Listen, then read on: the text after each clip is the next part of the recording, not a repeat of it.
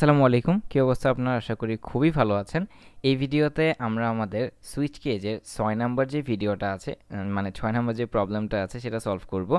আর এর আগের ভিডিওটাতে আমরা সুইচ কেজের এই পাঁচ নাম্বার প্রবলেমটা সলভ করে ফেলেছিলাম। আপনি যদি মিস করে থাকেন, তাহলে আমি আই বাটনে ভিডিও লিঙ্কটা দিয়ে দিচ্ছি, সেখান থেকে দেখে নিতে পারেন। আজকে আমাদের যে প্রবলেমটা, সেটা হচ্ছে write C program to check whether number is positive negative or zero মানে একটা নাম্বার কি পজিটিভ নাকি নেগেটিভ নাকি জিরো সেটা আমরা চেক করব সুইচ কেস দিয়ে। আমরা এই টাইপের একটা প্রবলেম ইফেলস দিয়েও করে এসেছি। যদি ইফেলস দিয়ে না করে থাকো, তাহলে আমাদের ইফেলসের প্লেলিস্টে সেখানে গিয়ে সেখান থেকে দেখে নিতে পারো। ওকে আমরা একটা নাম্বার নিয়ে নিয়েছি ইন্টিজার নাম্বার টাইপ একটা ভ্যারিয়েবল দিয়ে একটা নাম্বার নিয়ে নিয়েছি। এবার আমাদের কাজটা হচ্ছে একটা সুইচ কেস দেওয়া আজকে তোমরা একটা নতুন জিনিস শিখবে। ঠিক আছে? একটা নতুন জিনিস শিখবে। যে ধরো এখানে নাম্বার আমি আমাদের নাম্বার ভ্যারিয়েবলটা নিলাম গেটার দেন জিরো দিলাম। আমি আগে লিখে নিই, তারপর তোমাকে বোঝাচ্ছি। তোমরা একটা জিনিস জানো, বা এখন তোমাকে জানাব যে আমরা সুইচ কেজের ভিতরে এই যে নাম্বার গেটার দেন জিরো দিলাম, এর মানে কি? মানে সুইচের ভিতরে এখানে যে নাম্বার গেটার দেন জিরো দিলাম, এর মানে কি? এর মানে হচ্ছে তুমি সুইচের ভিতরে যদি একটা এক্সপ্রেশন দাও, সেই এক্সপ্রেশনটা যদি ট্রু হয়, তাহলে সে তোমাকে ওয়ান রিটার্ন করবে। আর যদি সেটা ফলস হয়, তাহলে তোমাকে জিরো রিটার্ন করবে। আমরা প্রোগ্রামিংয়ের ভাষায় জানি যে ওয়ান সমান সমান হচ্ছে ট্রু মানে ওয়ান দিয়ে ট্রু বোঝানো হয়, আর জিরো দিয়ে আমাদেরকে ফলস বোঝানো হয়। এটা তোমরা অবভিয়াসলি জানো।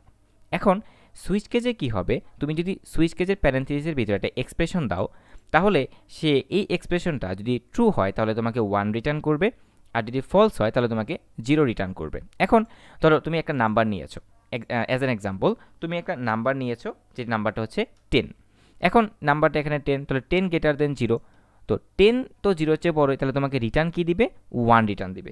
এবার আমরা এটা এখানে একটা কেস দিব যে কেস ওয়ান তো আমি যদি এই সুইচ কেজের ভিতর থেকে ওয়ান পাই, তাহলে সেটা কি হবে? অবভিয়াসলি সেটা পজিটিভ নাম্বার মানে হচ্ছে নাম্বার গেটার দেন জিরো একটা নাম্বার যখন জিরোর চেয়ে বড় হয়, তখন সেটা কি হয়? অবভিয়াসলি পজিটিভ নাম্বার হয়। তাহলে এখানে জাস্ট সিম্পলি আমি প্রিন্ট লিখে দিব। যে percentage D is a positive number positive number এখন এখানে পার্সেন্টেজ ডি এর মানটা কি হবে? নাম্বার নাম্বার এখন দেখো, তারপর আমি এখানে কি করে দিব? ব্রেক করে দিব। এইবার যদি এটা জিরোর থেকে না বড় না হয়, দেখো আমাদের প্রবলেমটা কিন্তু ছিল আমি এই কোডটার মাধ্যমে একটা নাম্বার কি পজিটিভ নাকি নেগেটিভ নাকি জিরো সেটা ফাইন্ড আউট করব। আমরা কিন্তু ইতিমধ্যে পজিটিভটা ফাইন্ড আউট করে ফেলেছি। এবার ধরো যে নাম্বার গ্রেটার দেন জিরো যদি না হয়, তাহলে সে আমাকে জিরো রিটার্ন করবে। একটা নাম্বার যদি জিরো থেকে বড় না হয়, তাহলে দুইটা জিনিস হতে পারে। নাম্বার ওয়ান সে জিরো সমান হতে পারে। নাম্বার টু সে জিরো থেকে ছোট, অর্থাৎ নেগেটিভ হতে পারে।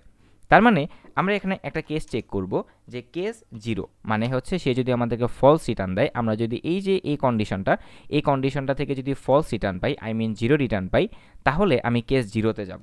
এই যে কেস জিরোতে আসলাম, এই কেস জিরোতে আসার পরে আমি একটা কন্ডিশন চেক করব। ইফ মানে আমাদের নাম্বারটা কি জিরো সমান কিনা? যদি আমাদের নাম্বারটা জিরো সমান হয়, তাহলে এখানে আমি প্রিন্টেফ কি দিব?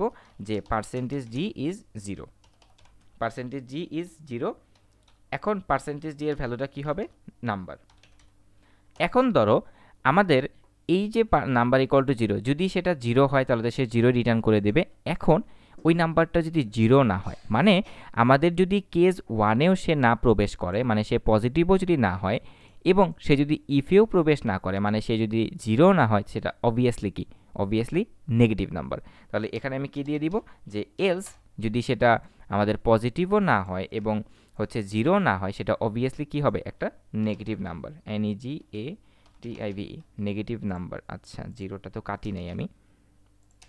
নেগেটিভ নাম্বার এখন এখানে প্রত্যেকটা নিচে একটা করে ব্রেকে ব্রেক দিয়ে দিতে হবে, যেটার মধ্যে আসলে, কারণ সুইচ কেজে দেখা ঝামেলা আছে ব্রেক না করলে তো আবার সে প্রত্যেকটা স্টেটমেন্টই এক্সিকিউশন করে ফেলে।